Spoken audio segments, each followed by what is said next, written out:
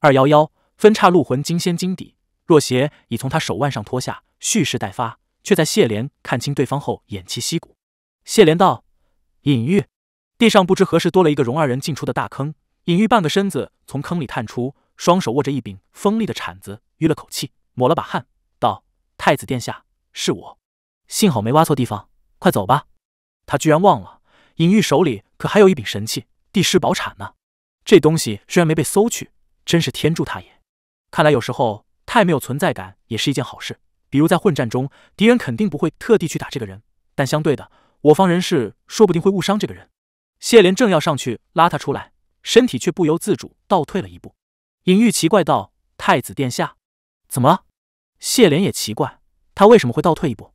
随即他便想起来了，倒退的不是他，而是移到了他身体里的施清玄。那把地尸铲可谓是十分熟悉，很难不联想到以往使用它的人。谢莲一阵没由来的心悸，想来是施清玄下意识的反应。好在施清玄反应也不过激，很快就把身体主动权交还给谢莲。谢莲也忘记要问花城那个能帮忙上天的人是谁了，赶紧过去跳下那个坑，和隐喻一起落入了仙境的地面之下。上方的坑洞不一会儿便合拢了，在黑洞洞的地道里爬了一小段路。谢莲忽然想起一事，道：“隐喻啊，这地尸宝铲挖的穿锁诛仙经的界吗？”隐喻道：“挖不穿吧？”啊？石清玄道：“那就是说，这宝铲虽然是神器，但挖来挖去也还是在仙经，那岂不是没用吗？”隐喻挠了挠头，道：“也不是什么用都没有。现在各位武神官的殿外都被设了阵，那阵会削弱他们的法力，延缓他们伤势的恢复速度。我以为，如果继续待在他们店里，怕是几年也恢复不了战力。不如用地师铲在底下某处挖出一个密室，把各位武神都送到那里，等恢复的差不多了，再试试能不能闯出去。”施清玄道：“等等，花城主说，你叫那群废、那群武神藏着自己养伤就好，别想试着从君武手底下闯出去，找死。”隐玉惊讶地道：“太子殿下，能和城主通灵，不是不能吗？”谢莲道：“不不不，刚才跟你说话的不是我。”施清玄道：“是我，是我呀，隐玉殿下。但说来说也也是一张嘴，隐玉糊涂了，是你啊，还是你啊？不就是你吗？太子殿下。”施清玄道：“嗨，是我，我风师。不对，现在应该称我为前风师。我用了移魂大法。哎，传话真是累死了。他进到这边听了看了。”再回到那边，自己身体里把听到的、看到的传给花城，进进出出，反反复复的，想想都累死了。隐玉忙道：“哦哦哦，辛苦了，辛苦了。原来如此。”更加卖力挖地。二人匍匐前进好一阵后，隐玉才道：“这里应该差不多了。太子殿下，你们先藏在这里，我去接下一位神官。”来时的地洞渐渐合拢。谢莲道：“啊，你一个人去吗？我和你一起去吧。”隐喻道：“还是算了。”实不相瞒，太子殿下，这地师敞开的洞越大，耗的力量就越大。我一个人兴许还能快点儿。离这里最近的武神殿是……他似乎想了一会儿，道：“总之，我去去就回。”施清玄反复使用移魂大法，频繁消耗大量法力的疲倦之意也感染到了谢莲。他坐在地上，勉强点点头，感觉头和身体都有些沉重，以手支额，道：“好。”于是隐玉便自己开了心洞，继续向前挖去。谢莲则躺在原地。合上了眼，不知过了多久，他突然惊醒过来，道：“隐玉，四周黑洞洞，一片死寂。很明显，隐玉还没有回来。”施清玄一开口，也证实了这一点。太子殿下，你醒了，很累吧？隐玉还没回来呢。休息了一会儿，谢莲便恢复了精神，道：“他离开多久了？怎么还没回来？”施清玄道：“快两炷香了，该不会迷路了吧？”谢莲感觉不对劲，道：“我去找他。”说着，他便翻了个身。朝隐喻离开的那条洞道爬去，因为隐喻还要从这条地道回来，所以地师铲挖开它后，这条地道并没有自动合拢。谢莲在里面小心翼翼地爬行着。须臾，施清玄道：“血雨探花说，哥哥，你最好别去。”谢莲停下爬行，道：“怕是有些不妙事吗？”施清玄道：“是啊，我听花城主口气还挺严肃的。”谢莲道：“就是因为不妙，所以才得去找，否则隐玉要是遭遇什么不测。”正在此时，他背脊忽然窜上一股寒意，谢莲一怔，猛然回头，石清玄也感觉到了他身体的那股寒意，道：“我的妈，刚才怎么回事？”背上忽然一阵哆嗦，背后就是黑洞洞，空荡荡的洞道，没有任何东西。谢莲却盯了良久，才道：“没事。”施清玄当即闭嘴，屏住呼吸，因为谢莲说完那句“没事”之后，又以口型无声无息的说了五个字：“别出声，有人。”这条地道中有其他人，刚才就在谢莲身后，但他一回头就消失了。谢莲对危险的直觉绝不会错，所以不能让对方发现他已经觉察了，佯装无事。而施清玄最恨这种情形，起了一手臂的鸡皮疙瘩，以口行道：“不是隐玉殿下吗？”谢莲道：“是他的话，就没必要这么鬼鬼祟祟了。”静默片刻，谢莲无声地道：“三郎有说什么吗？”施清玄道：“呃呃呃，你那魏三郎看起来脸色好吓人。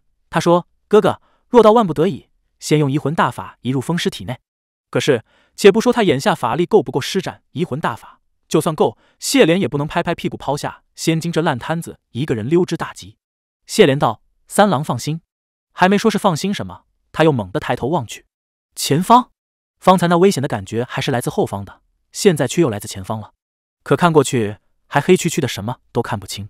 施清玄以口行道：“太子殿下，你又觉察到什么了？怎么办啊？这说明该往前还是往后啊？”凝神观察片刻，谢莲道：“这说明往前往后都一样，随便了。”说着便往前爬去。爬着爬着，他又停了下来，微微愕然。施清玄情不自禁道：“怎么会这样？呈现在他们面前的，居然是一条岔路口，有两条地洞。”施清玄道：“这难道隐玉挖了一条路，发现挖错了，又挖了另外一条？”谢莲心道：“隐玉肯定熟悉仙经的路线，怎么可能挖错？只怕更可怕。”但他也没说出来，只道：“清玄，帮我问问三郎，选哪一条吧？左边还是右边？”须臾，施清玄道：“血雨探花说，这个建议给不了，哪一条都不要选。”谢莲哭笑不得，虽说他也觉得，估计两条路都有不好的东西在等着。但总不能一直原地不动。思忖片刻，道：“那清玄，你来选一条吧。”施清玄啊，我吗？谢莲道：“嗯，如果你选，还有五成可能选到较好的那条道；而如果让我来选，施清玄立即道：‘好吧，我懂了。’纠结片刻，把头转向左边。谢莲点点头，爬了进去。越是深入，这洞道越是狭窄，简直逼得人喘不过气，但还算能通行。弯弯曲曲的爬了好一阵后，这才豁然开朗。来到一处较大的空间，还好一路上虽然提心吊胆，却并未遇到什么实质危险。谢莲打量四周片刻，道：“这是哪里？”施清玄疑惑道：“不知道，看不清啊。不过怎么感觉好像有点眼熟啊？”不光是他发现了，谢莲也发现了，果然眼熟。这里不就是方才谢莲躺着休息了一阵，等着隐玉回来的那个地下密室吗？千真万确。另外一边还有一个地洞。就是隐玉离开时用地尸铲打开的那条，谢莲也是从这条地洞爬出去找他的。施清玄毛骨悚然道：“我们怎么会又回来了？刚才这里有有我们爬回来的这条地道吗？当然没有。刚才他们离开时，这个底下密室仅仅有一条地道通出去，而他们爬回来的这条地道是不知什么时候凭空多出来的。他们遇到的那个岔路口，左边那条路绕了一大圈，又通了回来。这肯定不是隐玉开的，他不会费这么大力悄悄干这种没意义的事。”恐怕他也遇上了十分诡异的事情。谢莲心道：“果然，刚才应该跟着一起去的。”二话不说，又从他们出去的那条地道爬了出去，快速爬到那个岔路口。这一次选了右边的地洞。爬着爬着，石清玄道：“看来，看来这一次我的运气也没好到哪里去啊！选错路了，应该一开始就选右边的。”谢莲却道：“我想你的运气还是很好的。”石清玄道：“啊？怎么说？”谢莲尽量委婉地道。怎么说呢？因为右边这条路可能比左边那条更恐怖。二人都听到了，从他们身后传来什么东西擦擦擦擦飞速爬行逼近的声音。谢莲解下若邪就往后一甩，道：“若邪，先帮忙拦一下。”随即奋力向前狂爬，几乎一蹬一丈。施清玄紧张的快失了智，道：“哈哈哈哈！刺激刺激，刺激刺激刺激！”谢莲道：“更刺激的还没来呢，来，请看。”施清玄又是啥？谢莲停止狂爬，吐出一口长气。只见两人面前再次出现了一条岔路口。施清玄胡乱道：“右。”谢莲果断往右。接下来一路上居然不断的出现岔路口。施清玄道：“左，右，左，右。”已经不知道自己在喊什么了。在这种危急万分、瞬息万变的情形下，更是根本来不及撤出谢莲的身体回那边问花城该怎么办，因为很可能下一个岔路口一转，情况就完全不一样了。身后那东西被若邪阻挡一阵，却仍在不断逼近，而两边洞道也越来越狭窄，越来越逼仄，最终已经到了根本挪不动手臂的地步。谢莲的肩已经被卡住了，道：“爬不下去了。”施清玄道：“那怎么办？难道还往后退吗？那个追在后面的东西已经快追上来了。”谢莲道：“不要怕，大丈夫能屈能伸，不进则退，退就退。来。”说着就退了两步，腾出一只手，正要去握住方心的剑柄和追在身后的那东西正面战个痛快，头皮却忽然一凉，谢莲的心也跟着凉了半截。抬头一看，根本没看清是什么东西，只是似乎有谁在黑暗中轻笑一声，伸出一只手放到谢莲头上。他睁大了眼，下一刻便失去了知觉。不知过了多久，他才悠悠转醒。醒来后，谢莲这才发现，他坐在一张椅子上，整个身体都被扎扎实实绑住了。怔了两下，他才发现绑住他的就是若邪。谢莲莫名道：“若邪，你搞什么？”若邪也很委屈，耷拉着蹭了蹭他。谢莲再仔细一看。若邪居然被打了个紧紧的死结，难怪若邪没法反抗。他最害怕被打成死结了。以前不懂事的时候，喜欢瞎绕着自己玩，玩着玩着就把自己打出一堆乱七八糟的死结，每次都是谢莲无奈的帮他解开。后来他学乖了，聪明了，就再也没把自己打成死结过了。谢莲无奈，又试着能不能直接把椅子正散架，很遗憾，椅子也纹丝不动，看来是被注入法力加固了。既然动不了，那就先观察一下周围环境好了。谢莲环顾四周，这里应该是哪座神殿的内部，颇为崭新华丽。只是不知究竟是哪座，反正不是神武殿。刚这么想，一只手便放到了他肩上，头顶一人温声道：“仙月呀，仙月，你真是太顽皮了。”听到这个声音，谢莲的头皮蓦地一阵发麻，而背后那人负手转了出来，果然是君武。他的手还放在谢莲肩上，一步一句道：“你上来这大半年，仙金是这里坏了那里坏，砸了这里砸那里，你说你？”淘气不淘气？又不是小老鼠，在地下打洞钻来钻去，好玩吗？这种温和仁慈，仿佛长辈看着疼爱的晚辈瞎胡闹的语气，令谢莲毛骨悚然，十分不适，真不知道要如何跟他说话。接着又忽然感到脚边一阵冰凉，低头一看，只见一团白色的东西抱住了他的靴子，正用一种极其邪恶的眼神盯着他看，正是那胎灵。谢莲抬头，大概猜到了，隐喻用地石铲挖坑，却被君无抓住了。君无派了一些东西去地下拦，他才遭遇了方才那阵可怖的经历。谢莲终于知道该说什么了，无语一阵啊：“你真是恶趣味之极。”那阵地洞追逐，让他想起了当初被白无相追得喘气不得、胆战心惊的日子。如果是要抓他，直接抓就是了，何必非要弄得那般恐怖诡异，令人心惊不已？君武却看起来十分愉悦，微笑道：“仙月却比当初要勇敢多了。”这话没法接。谢莲道：“隐喻呢？”君武手放在椅子背上，帮他整个人转了个方向，道：“不着急，你会看到的。而且不光有他。”谢莲转了个圈，面对着一面镜子，然而那镜子里映出的却不是他，而是面色苍白的隐喻。而在他脚边还躺着一人，头破血流，鼻青脸肿，昏迷不醒，只能从那满头卷毛辨认出来是全一真。谢莲立刻警惕地道：“你想干什么？”二幺二不能尽善问心有憾。镜子里。映出的是墙壁另一面的情形，那边隐喻狂推全一真道：“醒醒，醒醒！”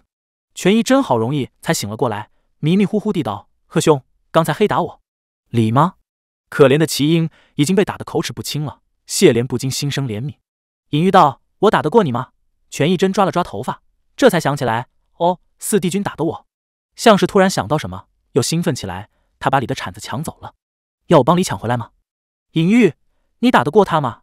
谢莲总算看出来了，这里是奇英殿，看来隐玉是来找权义真时被君无逮住的。趁君无又绕到他身后去了，谢莲低下头，以口型无声地道：“风师大人，你还在吗？”谁知没等到施清玄，却等到了君无。君无在他身后道：“当然不在。”君无道：“我忽然想起，仙金的锁戒似乎有个漏洞，所以刚刚把移魂大法也禁了。”君无拍拍谢莲的肩，亲切地道。想当年，这一魂大法还是我教给你的，仙月活学活用，我真的十分欣慰。说完，他便走了出去。不一会儿，那镜子里便出现了君无的身影。权一真率先注意到，尹玉也猛地转身，警惕道：“帝君！”权一真跳起来就跃跃欲试，君无随手一掌就把他拍回榻上，整张榻都给拍塌了。全一真直接躺在了地上，头一歪，又不省人事了。尹玉万分戒备，君无却道：“不必如此戒备，你要这么想。”就算你戒备也是没有任何用的，何不放轻松呢？这倒是实话。尹玉不知该说什么，只好习惯性的尴尬笑，又连忙收住。君无倒是很悠闲自然道：“尹玉啊，从前我好像从来没和你这么聊过，是吗？”尹玉拘谨地道：“好像是这样的。他过去虽是镇守西方的武神，但品级并不高，香火势力不大，地位也不高。虽不至于在上天庭的神官里垫底，但大概也是中等偏下，几乎没有机会能离上天庭最高的神武大帝这么近。大概从前君武从他店门口路过，他都紧张，现在更是紧张。又道：不过上天庭本来很多神官都没跟我聊过。”也不认识我，君无却道：“那可未必，很多人都认识你，就算不一定见过你，但也知道你。”尹玉怔了怔，道：“是吗？”君无道：“因为很多人都知道你师弟，而提到你师弟，你往往会和他一起被提出来，作为陪衬的那个。这话可十分刺人了。虽然只是毫不带感情色彩的陈述，但正因叙述者本人不带偏见，只是描述事实，所以才更刺人。”全一真还晕晕乎乎，没回过神。尹玉低下头，握了握拳。谢莲隐隐有些猜到君武想干什么了。良久，尹玉鼓起勇气道：“帝君，您到底想做什么？你已经是神武大帝了，上天入地，三界第一武神，没有人可以比肩你的位置，为什么还要这样做？您到底想要什么？”君无当然没有回答他，忽然道：“尹玉，你想回上天庭吗？”什么？谢莲也给这个问题问的一惊。君无想干什么？在这个关头劝尹玉倒戈，有何意义？君无道，你并不喜欢在下界为鬼界之族吧？尹玉终于反应过来了，道：“您想多了，本来就没有什么喜欢不喜欢。”谢莲心叫糟糕，不能这么打，这一下恐怕要给他拿下破绽了。果然，君无微微一笑，道：“你知道吗？你这么回答，意思就等于在说：是的，我不喜欢，避而不谈。不错。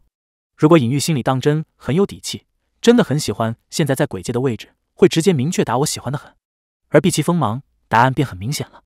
君无道，你出身名门，门派正统，从来不走邪魔外道，又是派中之长，从小耳濡目染，以得到飞升为毕生之求。这种追求是很难改变的。流落鬼界，只能说是迫不得已，无奈而为之。你当然没法说你很满意现在在鬼界的位置，因为这根本就不是你想要的。隐喻底气果真不足，弱弱地道：“城主与我有恩，救了我。”君无道：“我知道。”还帮你超度了死于被贬途中的剑狱的怨魂，是吗？隐喻道：“不错，所以不管我满不满意现在的位置。”君无道：“那就是不满意。然而你受负于恩，又走投无路，故勉强自己。”隐玉低头不语。谢莲心中捏了一把汗，他已经能大概猜出君无打算怎么进攻了。而隐玉的每一个神情，每一个动作，从头到脚，浑身都是破绽。君无道：“那么反过来，我再问你一个问题。”你于权益真有恩吗？君无道，凭什么旁人与你有恩，你就要把自己放在一个并不合意的位置上效忠报答？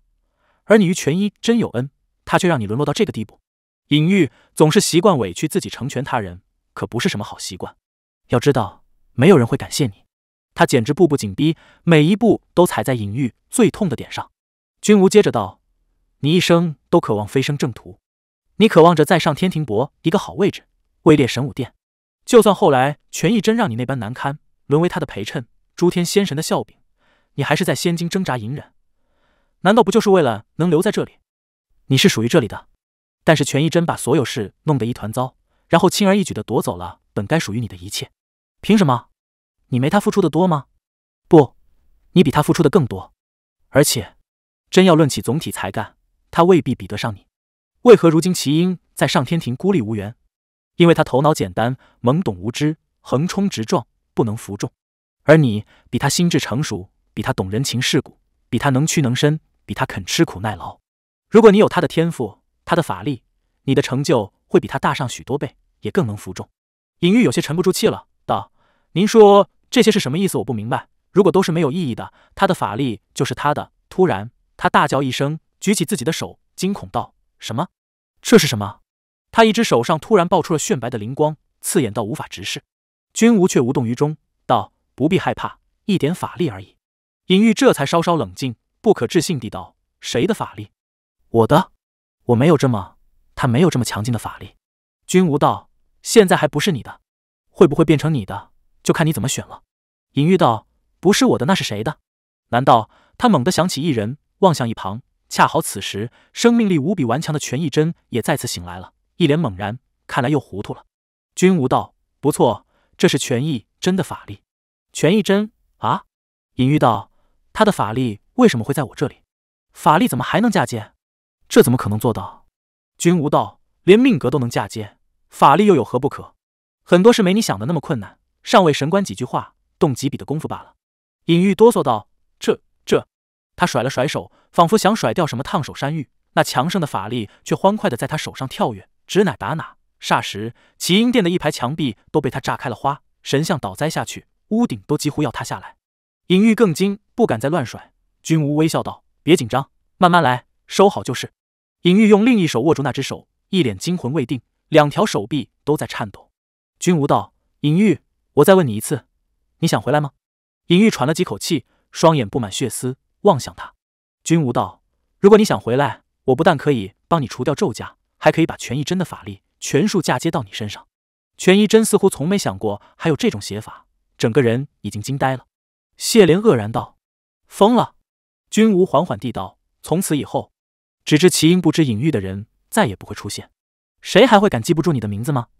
永远不会了。”隐喻倒退几步，混乱地道：“我……我……”谢莲精神崩得连自己还被若邪绑在椅子上都不记得了，屏住呼吸，双手抓住椅子，身体前倾。至少有一点，君无说的没错。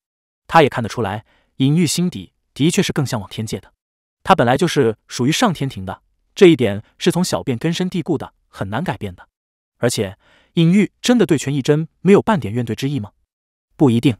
在发生过这么多事的人们之间，我完全不恨你这一句是没办法这么轻易就说出口的。这种恨可大可小，而隐喻本身便不是性格坚定之人，他怎么想怎么做，旁人的影响恐怕不小。因为并无太多交集，谢莲也无法确定。隐喻到底会怎么做？只能在心底默默祈祷。隐喻殿下，小心啊！不，隐喻好一阵魂不守舍，坐下来，双手捂脸，半晌，终于抬起面容，目光也渐渐冷沉了下来。他盯着被揍成一堆破烂物的权义真，良久，低声道：“帝君，你真的能把他所有法力都换给我吗？”谢莲的心沉了下去，权义真则张大了嘴道：“师兄，君无道，不如现在就换给你。”你自己试试，便知我能不能。隐玉仿佛还不放心，又问道：“他还能夺回来吗？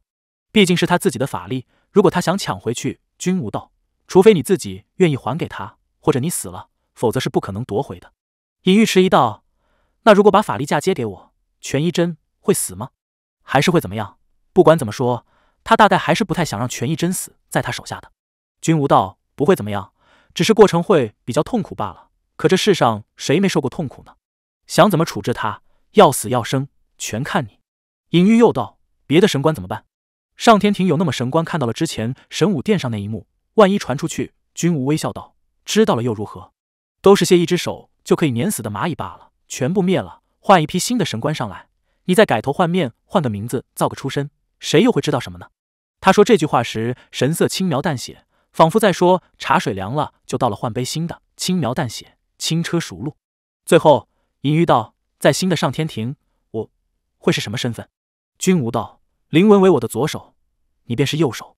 你们以上，除我再无他人。”隐玉一咬牙，终于道：“好。”他沉声道：“请帝君记住今日对我的承诺。”那么现在他没说下去，只是视线转向了全一真。君无道：“如你所愿。”话音刚落，全一真突然面容扭曲起来，大叫一声，七窍流血。抱头打滚，似乎痛得厉害，而隐玉的身上则发出一阵突兀的灵光，他整个脸庞都被映得透亮，举起一手打向上方，齐阴殿轰然倒塌，金殿上开了个大洞，站在废墟之中，隐玉低头看着自己的双手，慢慢握紧拳头，君无的神情仿佛在看一个小儿是他新买的玩偶，道：“感觉如何？”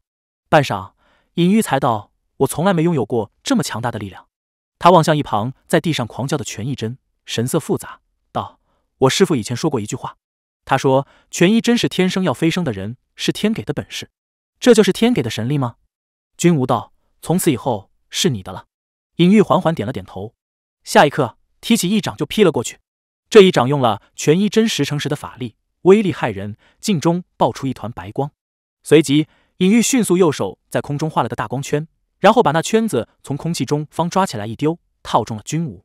君无看到脚下光圈。微微皱眉，似乎略感忌惮，谨慎的不去触及，又看到尹玉去拉地上的权一真，不动声色道：“尹玉，临阵反悔，你就没有什么话要对我解释吗？”尹玉背对他背起权益针，不答。君无道：“这么做当然可歌可泣，情操高尚。不过，这真的是你的本心吗？你勉强了自己几百年，到现在还要继续勉强下去？你真当一点都不恨你现在救的那个人？就算不恨，难道也不讨厌？”尹玉终于忍不住了，他握紧了拳头，咔咔作响，猛地转身道：“我是恨，我是讨厌，但是那又怎样？”权益真激动不已，一边说话一边从鼻子、嘴巴里往外狂喷鲜血，道：“师兄！”尹玉喝道：“闭嘴！”他又转向君无道：“你、你、你、你为什么一定要提醒我这一点？说的好像你们都很了解我似的。是，我是讨厌他，但是那又怎么样？他给我添了这么多麻烦。”我恨恨他还不行吗？谢莲一颗心沉到谷底，又高高抛起，哭笑不得，险些栽倒。这是什么歪理啊？接下来，隐玉又道：“但是，但是我也就只想讨厌讨厌罢了，不等于我就一定要害他。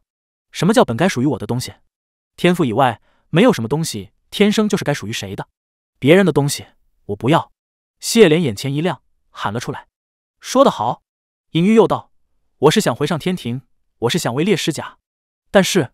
如果不是我自己修来的，那就根本没有意义。我倒霉，我认了。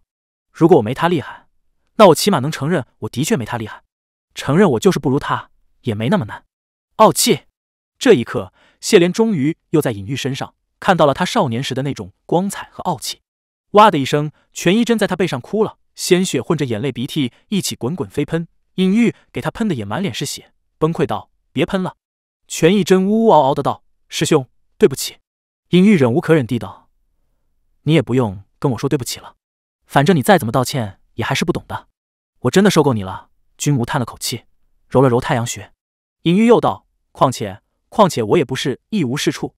你也说了，论总体才干，他未必比得上我。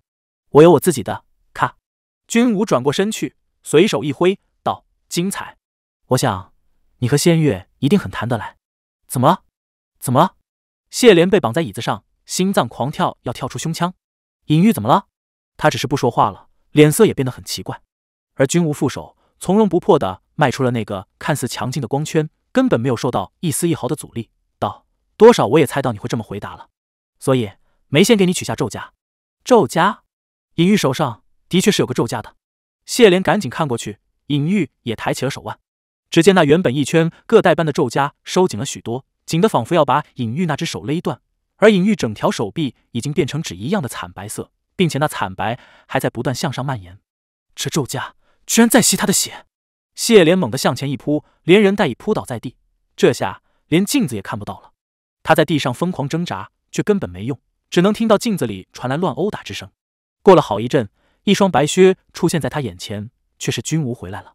他手里拿着一只吸满了血、变成深红色的咒枷，应该是从尹玉身上取下来的。蹲下来摸了摸谢莲的头顶，道：“和你的小朋友去道个别吧。”若邪的死结终于松开了，谢莲爬起来就冲他脸上打了一拳，当然没打中，还差点又摔倒。但他本来也没指望打中君无，只是泄愤，狂奔到隔壁店内。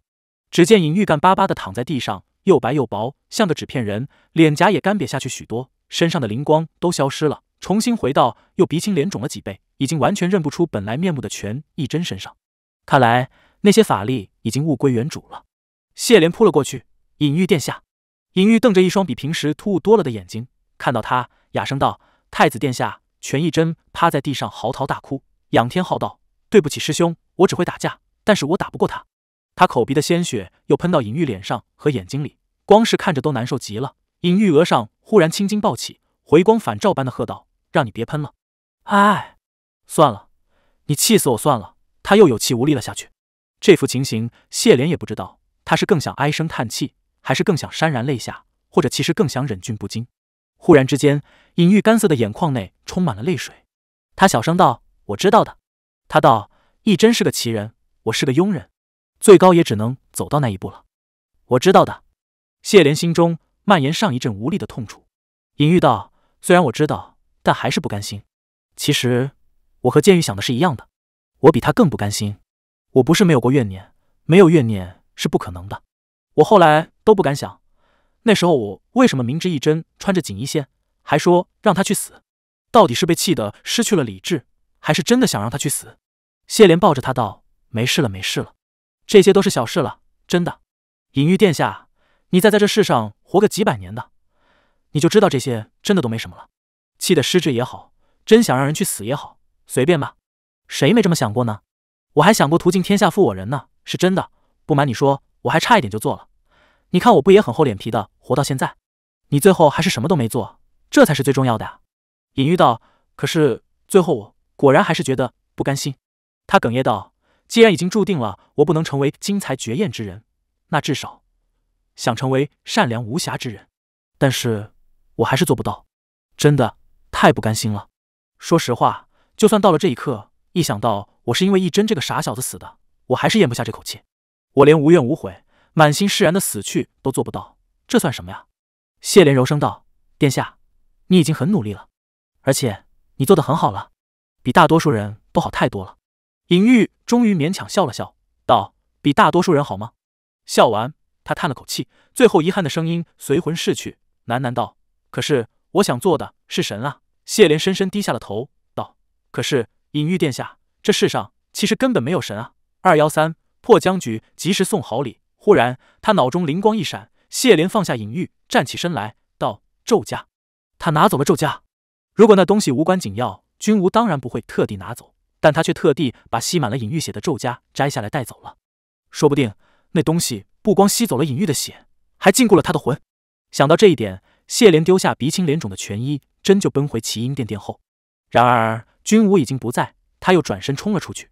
仙境大街空无一人，居然一片荒凉，只有往日热热闹闹、往来不断的各大神殿门口守着许多面无表情的卫兵，仿佛根本不把他放在眼里。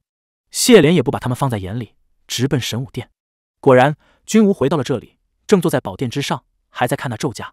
谢莲一冲进去，就听到上方传来一阵咕咕唧唧的怪声。抬头一看，那胎灵四只脚抓在华丽的天花上，正在快速倒挂爬行，仿佛某种冷血生物，令人恶寒。居然连这种邪物都能进神武殿了，真不知那些挣扎几百年都没资格踏入这里的神官们看了会作何感想。谢莲走过去，冲他一摊手，君无道。你想要什么？谢莲二话不说，劈手便去夺那咒枷。君无当然不会让他如愿以偿。谢莲好半天都抢不到，怒道：“你要这个东西有什么用？隐玉根本不会对你造成威胁，他对你来说根本无足轻重。你干什么要跟他说那种事？你还留着这东西干什么？”君无却道：“谁说没有用？看你为了这个东西这么生气，岂不正说明它非常有用？”他就像把果子放在自己儿子够不到的桌子上的大人，在旁边笑眯眯的看着小孩想吃，踮脚去拿，却怎么也拿不到，又气又急，哇哇大哭。然后他就高兴了。谢莲简直要气疯了。你有病吗？君无道，仙月，你这么对我说话，可有些不敬。谢莲憋了半天，憋不住了，骂道：“我敬你个！估计他这辈子所有的脏话都冲着这个人骂了。”谁知这一句还没骂完，他喉间突然一紧，一阵窒息。谢莲眼前一黑，双手捂紧脖子，双膝一软，跪了下来。君无坐在他身前，气定神闲地摸着那胎灵毛发稀疏、光滑圆溜的脑袋，掌心散发出黑气。那胎灵仿佛很是惬意，叫得古怪欢畅。听着谢莲发出一连串剧烈的咳声，脸色涨得通红。君无道：“仙月，我建议你还是像以前那样听话一点，尊敬一点，这样才不会惹我生气。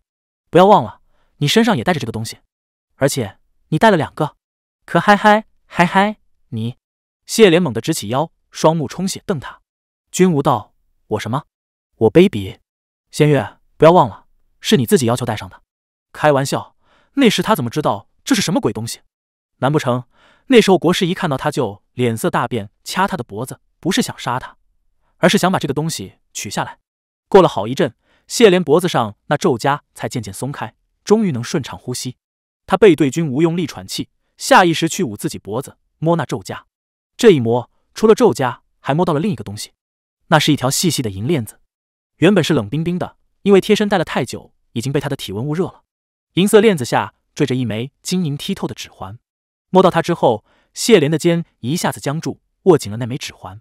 不知为何，心跳砰砰加速起来，仿佛抓住了一个了不得的秘密。正在此时，身后君无道：“是我，何事？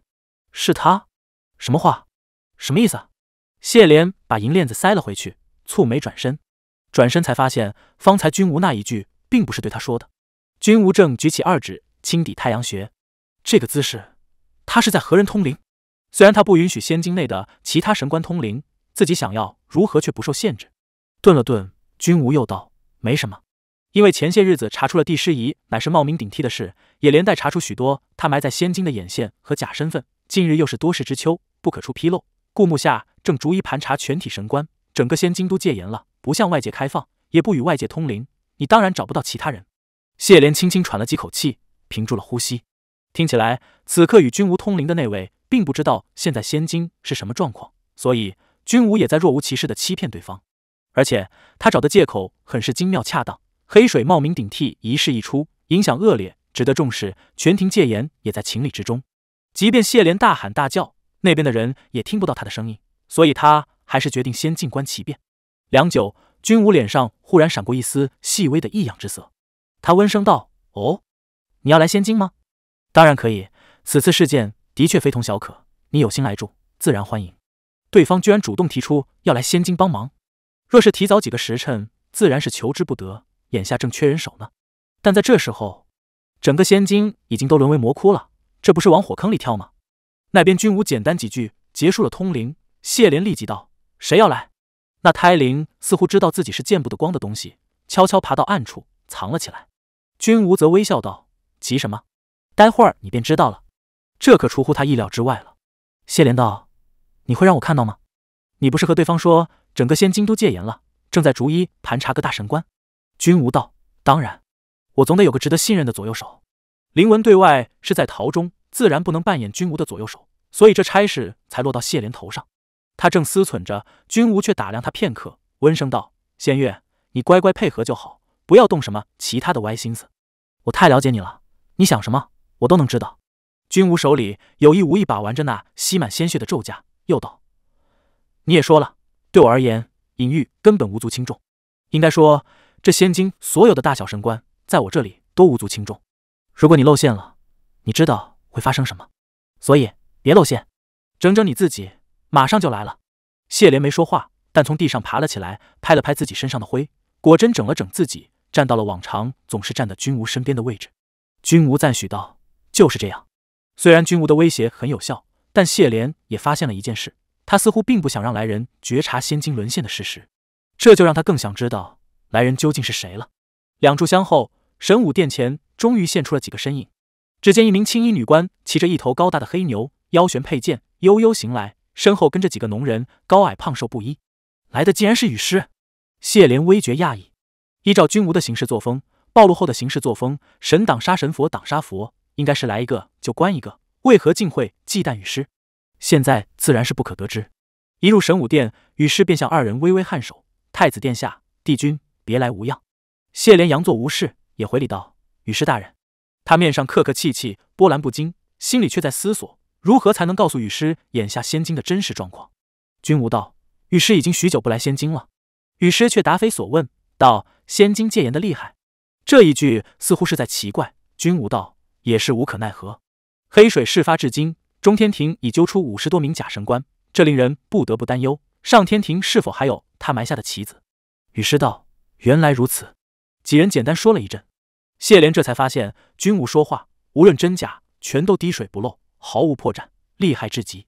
他有心提醒，但一来怕被君无觉察，拿别的神官开刀；二来也怕牵连了本不知情的雨师，故束手束脚。雨师也似乎根本没有发觉异常。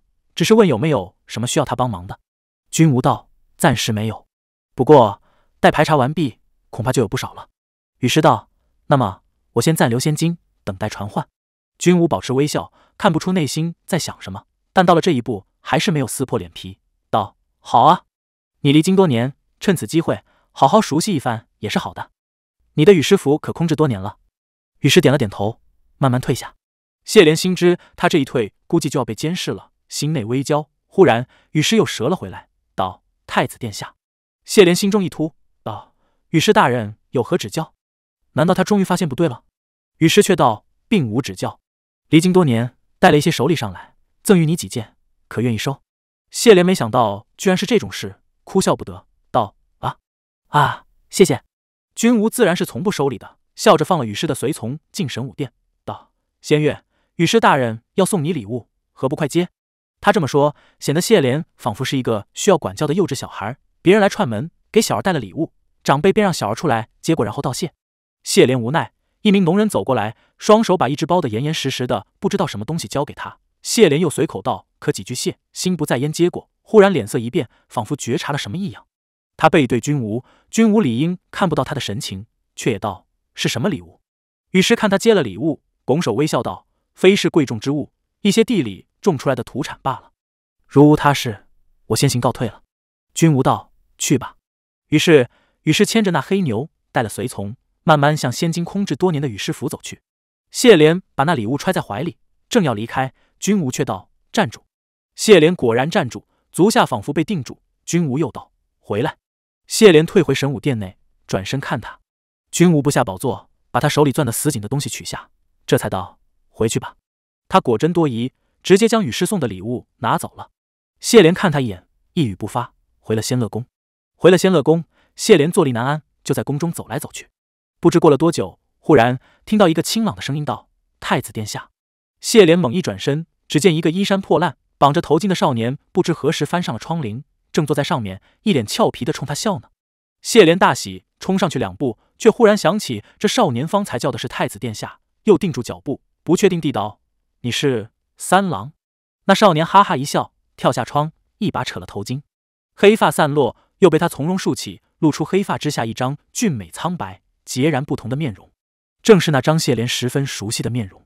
花城悠悠甩着那头巾，叹道：“哥哥呀，哥哥，这回想见你一面，可真是难如登天了。”方才在神武殿上，谢莲接住雨师礼物的那一刻，的确是觉察到了什么异样。不过那异样不是来自礼物，而是来自于送礼物的人。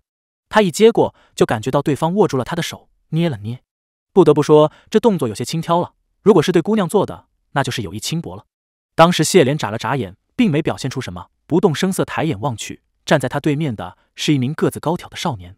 那少年虽是一身农人打扮，打着补丁，沾着泥巴，扎着头巾，面貌却是俊秀不已，眸中灵光闪动。不过这眸光却只闪现在他们二人目光交接的一刹那，等谢莲眨眼再看，那少年又恢复了羞怯青涩的模样，低头退下了。眼下花城既然已经找到仙月宫来了，那自然是把周围监视的眼睛都解决了。一看到他，谢莲登时便觉得无比可靠，什么也不用烦恼了。二幺四破僵局，及时送好礼。二花城还未走近，谢莲已经猛地扑了上去。这一扑可厉害了，花城居然没给他扑的倒退三步，连晃一下身形都没有，只是双手放在他背上，轻笑不语。谢莲正欣喜着，忽又想起一事，忙道：“等等，三郎弟。”君无对你颇为忌惮，你本是该在皇城守着人阵的，他肯定派了人去下面盯着，你就这么消失，恐怕会被他觉察。而且只有风师大人一个人守阵，会不会出问题？花城却道：“放心，哥哥，这个已经处理好了，暂时不会露出破绽的。”谢莲猜他大概是把君无派去的眼睛给堵上了，或是留了一张假皮在下面，也不追问是如何处理的了。这时花城悠悠地道：“看来哥哥是当真想我想的紧啊。”谢莲想起之前当着君无的面和他通灵时说的乱七八糟的话，又注意到现在自己紧抓不放的姿势，连忙松手站直，肃然道：“嗯嗯，你说的需要一个人帮忙，原来就是雨师大人。”花城笑眯眯地道：“正是，雨师常年在下界，恰好铜炉山一开，被惊动了。这时候回上天庭看看，是极符合常理的事。而如果君无不放他上来，或拿不出有力的理由，雨师必然会觉察异常，所以他当然只能放雨师上来。哥哥。”没关系啊，你可以继续像刚才那样铺着，我不介意的。谢莲轻咳一声道：“谢谢，不了。不过他为何不动雨师？”花城道：“哥哥有所不知，雨师是长农的神官，这一神官职位虽然看似灰头土脸，无甚巨力，所以没什么人有兴趣当，却是很特殊的。目前只有雨师皇这么一位长农的神官。”谢莲若有所思，已想通了其中关节。花城继续道：“如果直接杀了雨师。”万一找不到更好的接替神官来掌农事，民以食为天，农事不顺，便要天下大乱。你不给人吃饭，人就不给你饭吃。天下人除了对雨师不满，还有可能会对雨师上面的那位大神也连带不满起来。也就是说，没准火会烧到他身上。控制不当的话，或许会引发倒神动乱，也就是推了他的庙，到了他的神像，就如当初仙月国众做的那样。花城又道：“况且雨师不设庙，不常住仙经，没有攀升的欲求，也没有什么把柄。对外，他很难找到合适的理由贬谪雨师，不好下手；对内，让雨师继续长农，他的地位才稳妥。所以，能不撕破脸皮就不撕破脸皮，先瞒，瞒不住了再说。”谢莲抹了一把汗，道：“原来如此，好险好险！雨师大人肯来帮忙，真是雪中送炭。望他演技超群。对了，我们得先去找国师。”很多事情一定要问他才能清楚。二人不再耽搁，火速出了仙乐宫。一迈出门槛，谢莲便备受在门口的一排卫兵惊了一下，正想让若邪抽晕他们，却发现这些卫兵个个犹如木头人，不光是姿势，连表情都不变，居然已经给花城定住了。沿路走，沿路便从花城护腕上闪现粼粼的银光，化为银蝶，渐渐失色，映入空气之中。恐怕这一会儿，他就已经在仙境里散布了成百上千只死灵蝶了。一路上，他们忽上忽下，忽隐忽现，完美避开了所有巡逻的卫兵。藏在一条巷子里，看着街上一列一列巡逻的卫兵们踏踏走过。花城在谢莲身边道：“这段过了，下一段走上面。”谢莲点头，随他一起跃上屋顶。二人一前一后，飞檐走壁，来去无痕。少顷，谢莲落在一处岩角上，忽然定住，回头看着花城，若有所思。见他停住，花城也停了下来，道：“怎么觉察到什么了？”谢莲微微蹙眉，摇了摇头，思忖道：“不是，只是觉得这情形好像在哪里。”话音未落，花城忽然将他拦腰一揽，下一刻，两人双双从屋檐上掉了下去。谢莲只觉突然的转天旋，上下颠倒，斗笠从背上滑落，即将落地，赶紧一个海底捞月，轻飘飘的抄了回来，却是花城搂着他，两人一起倒挂在了一处屋檐的飞角之下，而屋檐之上有什么东西啪嗒啪嗒快速爬过。那声音，谢莲并不陌生，是那胎灵的爬行之声。不知他是在仙境大摇大摆的巡逻，还是在干什么。这时，又一个声音从下方传来：“错错错错，剑兰！”谢莲心叫不妙。那胎灵还守在屋檐上，剑兰却是从下面走来，那岂不是怎么样都要被发现？谢莲可不敢说剑兰到底会怎么反应，是会惦念着花城的救命之恩，还是会大叫喊人来？那阵轻浮凌乱的脚步声越来越近，眼看着就要拐过来了。谢天谢地！正在此时，那胎灵终于从屋檐的另一边跳了下去，二人立即翻身上屋。谢莲松了口气，剑兰从一处墙角后探出小半个身子，看到了跳到地上的儿子，也松了口气，出来道：“错错，你不要到处乱跑，这地方人生地不熟的，怪可怕的。你跑不见了娘，都不知道要上哪里找。你怎么到这里来了？”他随意一扫，扫到了这大殿的匾额，倒退了两步。看到他反应，谢莲这才想起来。他们脚下的这座金殿好像是南阳殿，也就是说，封信现在就被关在里面。剑兰也一定清楚这一点，脸部微抽，半晌，低头教训那胎灵，斥道：“你跑这里来干什么？”那胎灵却抱着根粗粗胖胖的白东西，还在咔嚓咔嚓，似乎在啃它。剑兰又道：“那是什么？你在瞎吃什么东西？快吐出来！”谢莲定睛一看，发现那是一根敦实不已的大白萝卜，哭笑不得。不用他说，那胎灵显然也觉得味道不好，恶狠狠地呸呸两口，把萝卜吐出来了，尖叫不已，仿佛在发脾气。剑兰连忙上去把他抱起来，哄道：“好好好，错错乖，不好吃就不吃了。这些是穷小子和傻瓜神才爱吃的东西，咱们不吃的。也只有亲生母亲才会把一个如此畸形可怖的东西抱在怀里，还能如此柔声安慰了。”那胎灵在他怀里扭了扭肥肥白白的身体，发出惬意的咕咕声。谢莲看着这一幕，不禁心生莫名哀怜，但也奇怪，仙境里怎么会有这么大的萝卜？花城挑了挑眉，道：“哥哥忘了吗？雨师给你带了些地里长的土产，原来这就是雨师送他的礼物啊。”谢莲试着去想象君无打开那木盒后，看到里面是根大白萝卜会是什么表情，只觉无法想象，尝试失败。看来君无检查完发现不是什么可疑东西之后，就把那大白萝卜随手喂给这泰灵了，简直像是在喂狗。原本那胎灵吐掉后，还用腿嫌弃的把大白萝卜蹬飞了。听到剑兰的话，似乎若有所思，又从母亲怀里跃下，蹦蹦跳跳过去，把大白萝卜叼了，蹦蹦跳跳进了店。不仔细看，果然像只光溜溜的没毛白皮狗。剑兰道：“别进去，那里是守在南阳殿前的卫兵们，大概被君无交代过，这胎灵是他的宠物或是猎狗，目不转睛，并未阻拦。万不得已，剑兰只好也跟了进去。那胎灵对风信似乎敌意甚浓。”谢莲担心他会不会对风信不利，转头道：“三郎。”花城指尖栖息了一只透明的蝶，道：“死灵蝶已经附在他身上了。谢莲点点头，二人一道监视南阳殿内的情形。只见剑兰猫着腰，蹑手蹑脚溜进店里，似乎不想被人发现，小声道：“错错。”然而不被发现是不可能的。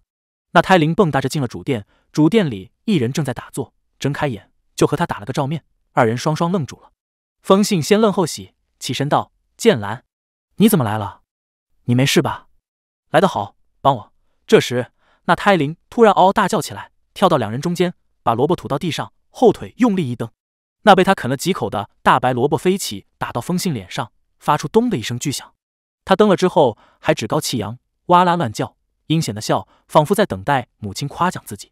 风信简直没给这东西一下打晕过去，一条鼻血当场就流了下来，一把抹了，大怒道：“你干什么？给我老实点！”他凶，那胎灵更凶，冲他尖叫吐信子。风信一个箭步上前去拿，却给他张开血盆大口咬住手臂，怎么甩也甩不下来。这熟悉的一幕又恐怖又好笑，风信狂甩不掉，更怒：“我操了，我真操了！你找打吗？什么鬼？”剑兰也回过神来了，道：“住手！你有什么资格打他骂他？”风信被他一吼，倒是愣了一下，气势下去了半截，辩解道：“他他认贼作父，他怎么会跟君无一条？他怎么会变成这样？”剑兰啐道：“怎么会这样？还不是因为你养不教父之过。要不是你这个当爹的不称职，你自己儿子会被人从他娘肚子里挖出来做成这种东西？什么鬼？你生的鬼！”他骂一句，风信退一步，声音也小了大半截，道：“可是，可是我根本不知道，而且那个时候是你先让我滚的。”剑兰道：“哈，我让你滚，我是成全你。你每天板着个丧气沉沉的死脸到老娘这里来。”老娘睡你旁边还不知道你心里想什么？你又要侍奉你那太子，又要给我凑赎身钱，焦头烂额，又累又烦吗？你不好意思自己甩袖走人，那我就干脆送你一程罗。风信道：“我那时候是很累，但是我没有烦你，我想给你赎身的。”剑兰戳着他胸口道：“得了吧，赎身赎身，你自己心里清楚。凭你当时的本事，究竟赎不赎得了老娘当时的身价？你每天恨不得一个钱子儿掰成两半花，天天上大街卖艺。”还要孝敬你的太子爹皇帝爷，我不倒贴就不错了，指望你给我赎身，猴年马月吧。风信道：“你一开始不是这么说的，我们明明都约好了，我说过的话我一定会兑现。”剑兰打断他道：“口头上山盟海誓的多了去了，但你想想，你给了我什么呀？你能给我什么？除了那条金腰带，还拿得出手？哦，就那金腰带，你还千叮万嘱说不能卖。”风信给他戳的退了一步又一步，脸色又僵又窘。剑兰越说越气，还是那个破护身符。我猪油蒙了心才相信你那狗屁护身符能保佑人，好运没半点，霉运倒是连连。你钱是越来越少，脾气是越来越大，我不放你走，我还能怎么样？就这么熬死你吗？熬到你开始抱怨我恨我烦我不想再看到我吗？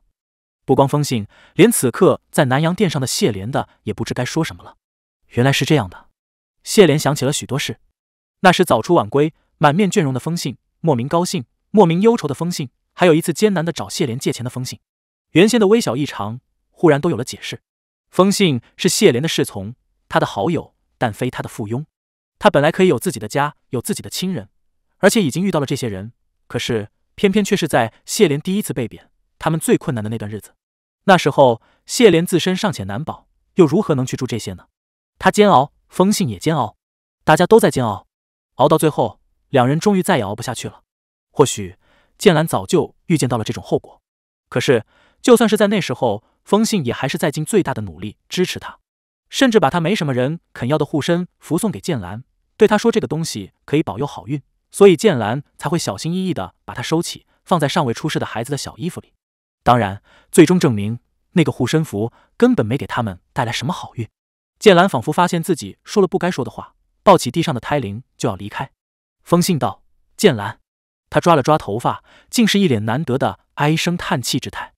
封信道：“你你回来吧，我还是我觉得我想照顾你们，我应该照顾你们的，我有责任，我答应了你的。”剑兰转身定定看他半晌，搂紧了怀里胎灵，哼道：“免了，我知道你嫌弃你这儿子，他在你眼里就是个鬼东西。没事，我不嫌弃。”封信终于回过神来，反驳道：“我没有嫌弃他。”剑兰道：“那为什么你每次都对他这么凶？你真能把他当自己儿子看？”封信道。只要他能改好，我有什么不能？剑兰冷笑道：“那我再问你，你是个神官，你敢认他吗？风信一怔，这是理所当然的。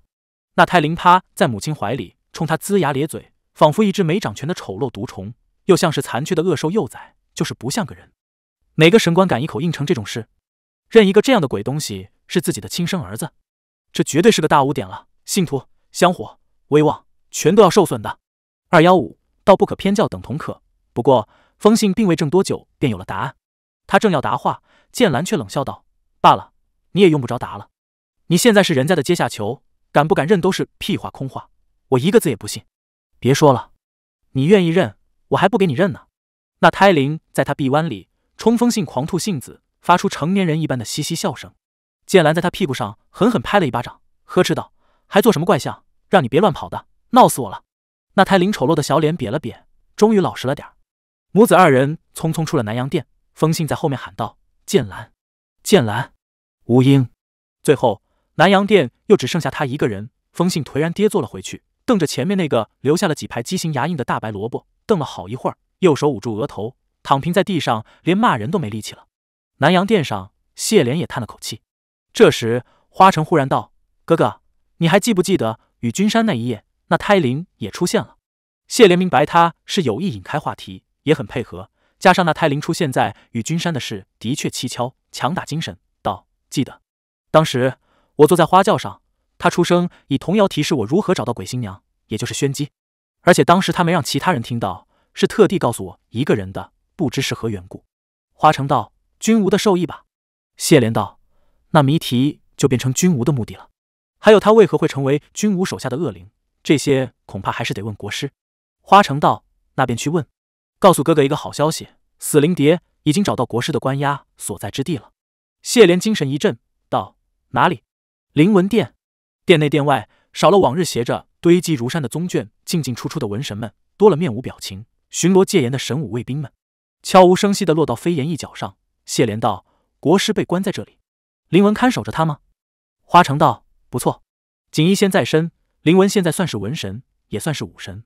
凝神观察片刻，谢莲道：“那就麻烦了。虽然锦衣仙不是他们对手，但毕竟也修为了德，肯定比在仙京大街上那些巡逻的卫兵要耳目敏锐的多。若谢莲和花城就这样贸然潜入灵文殿，锦衣仙打不过他们，却不一定发现不了他们。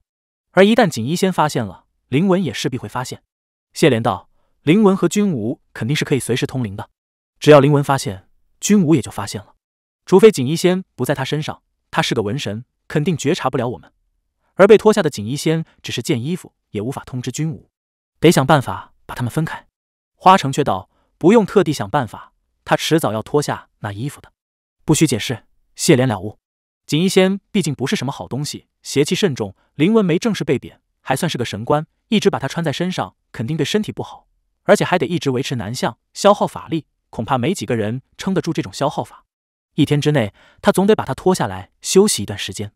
二人正低声商量，这时，一个黑衣人副手从灵文殿内缓步走出，交代了外面一列卫兵什么事，步入偏殿。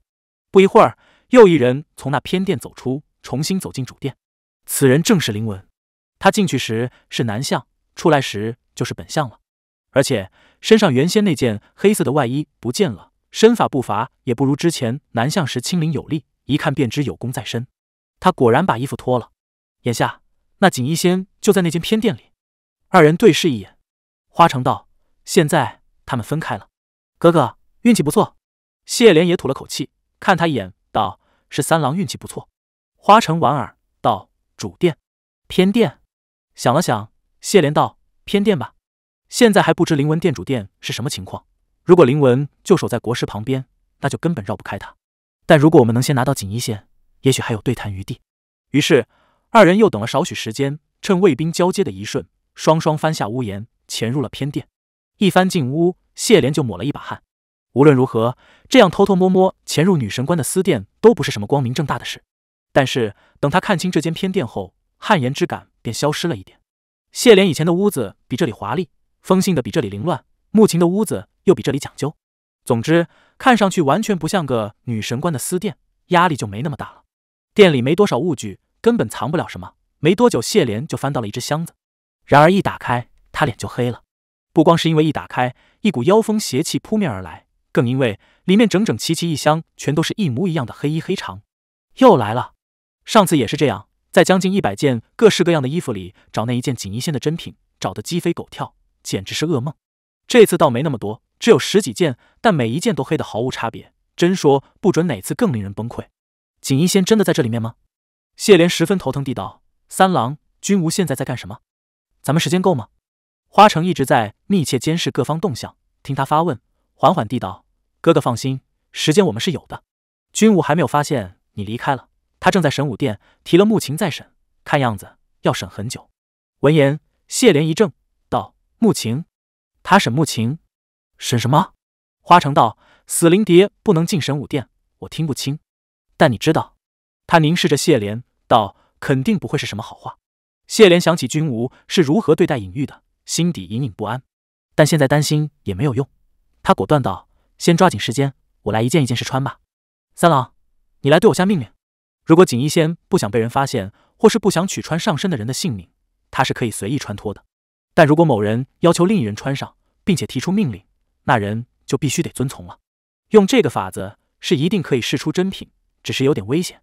花城道：“我来吧。”谢莲摇头道：“三郎，你穿过锦衣仙的，不知道为什么，他好像对你不灵，可能对鬼王无效，只能由我来了。”说着，他就脱了外衣，白袍落在脚边。花城挑了挑眉，挑了一件黑衣递给他，道：“那就恭敬不如从命了。”谢莲迅速把那衣服套上身，还好，还好。灵纹的黑袍并不袒胸露乳，也不婀娜多姿，十分之板正，穿起来并无困难。谢莲抬头道。好了，你可以对我提出你的要求了。花城右手托着左肘，左手支着下汗，看着他，似乎认真思考了片刻，道：“那么，哥哥，我的命令是：须臾。”谢莲等到了他的下半句。花城笑眯眯地道：“我们来借个法力吧。”谢莲当然懂他说的借法力是什么意思，险些头顶生烟，赶紧把衣服脱了下来，道：“这这件不是。”花城道：“啊，太遗憾了，这件不是。”谢莲正色道：“三郎。”这样是不对的呀！你要严肃一点，不要提这种要求。花城虚心地道：“我不够严肃吗？哪种要求？哥哥可不可以说详细一点？”谢莲轻咳两声，严肃地道：“总之，不可以让我向你借法力，其他随意，比如转个圈、跳两下之类的都随便。”花城挑起一边眉，道：“其他的都随便是吧？好的，明白了。”说着，他又递了一件给谢莲。谢莲迅速套上，再次抬头望向花城。而花城端向他片刻，哥哥少请。他展颜一笑，道：“不要向我借法力，大意了，居然还可以这样。”谢莲赶紧要把那衣服脱了。好了，也不是这件。花城却拦住他道：“等等，哥哥，谁说不是这件？你还没有证明他不是呢。不要向我借法力，这是花城的命令。而如果要证明谢莲身上这件衣服不是锦衣仙，那就必须不执行花城的命令。也就是说，要做相反的事，向花城借法力。绕来绕去。”又回到原点了，看着花城一副较真的模样，谢莲震惊了。你也太狡猾了，不可以这样的吧？花城抱起手臂，歪了歪头，振振有词地道：“为什么不可以？哥哥，难道不是你说的，除了让你向我借法力，其他的要求都随便吗？既然你不喜欢这个要求，那我就提了个完全相反的。这怎么能说是狡猾？这岂非是很实在？”谢莲简直无言以对了，举起手指了他一会儿，道：“你你，哎，我说不过你。”别闹了，不敢耽搁，冲上去就揪了一下。明明知道根本没人在附近，但完事还是左看右看，仿佛警惕谁在偷窥。